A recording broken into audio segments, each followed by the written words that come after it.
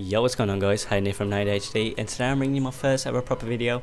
What you're seeing in the background is some MP7 gameplay on standoff where I go 30 to 1, where I go 30 to 1, that's it basically. So um, in this video I'm going to be talking about how to get better at PC Call of Duty. Now I'm not the best, but at least I can give you some tips to try and help you get better. So throughout this video you're going to be seeing some tips, so let's crack on with this. So the first tip, it's quite an obvious one, be comfortable obviously you're not going to be able to get your aim right when you're fidgeting and you're hot and stuff like that. So what you want to do, you want to get yourself a nice chair like this one or this one, uh, and that will basically being comfortable will improve your aim. You probably think I'm stupid, but it actually will. It just makes you uh, settle basically, and you'll be less shaky.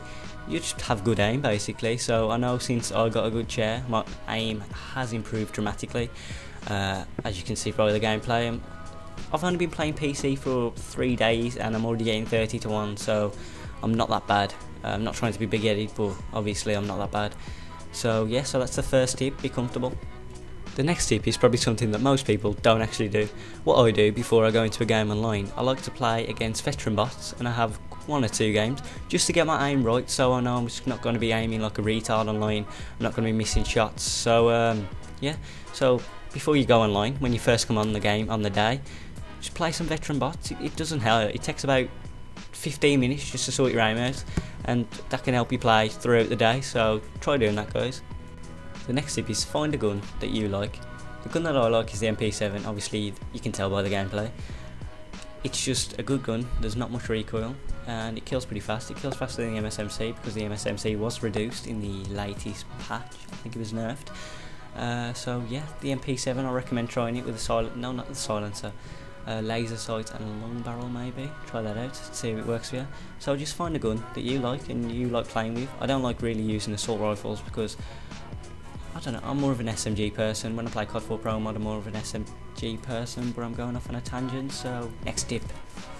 And for the last and final tip, never get mad. When you get mad, you play bad. I didn't intend that to rhyme, but I know I've got mad in the past and I have played bad, so don't get mad, get good. So that will wrap up in my today's video. Expect a video tomorrow over on Minecraft, Garry's Mod, or Black Ops 2 and a Black Ops 2 commentary. This is on the PC, by the way. You probably learned that by now.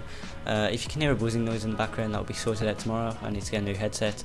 PX21s. Um, after a while, the uh, the wire that leads from the like the the bracket where you turn all the stuff down to the actual headphones, it tends to coil after a while and you get a loose connection and that's why you can hear a buzzing noise. I don't know if you can hear it but I, I can hear it myself so that'll be fixed tomorrow because I'll get my other mic from around Nathan's and that'll be all fine and dandy so hopefully you like this commentary. Please show me some love guys because I haven't made a video in ages. Bye.